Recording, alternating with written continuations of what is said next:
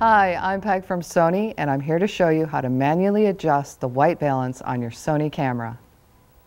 White balance seems to be one of those things that most camera owners avoid because they just don't understand what it is. To put it simply, the reason we adjust the white balance is to get the colors in your photos as accurate as possible.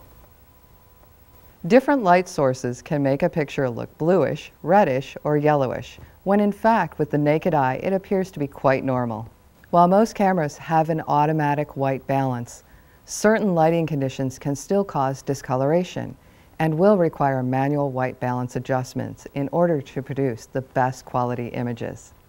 Let's go ahead and show you how to adjust the white balance manually. For my demonstration, I'm using the DSC TX10.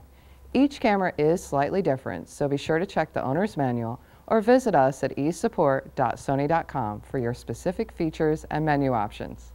Before we get started, make sure you exit Easy Mode.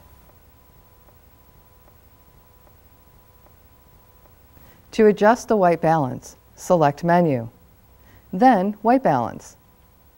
On our DSC TX10, we have nine different white balance options.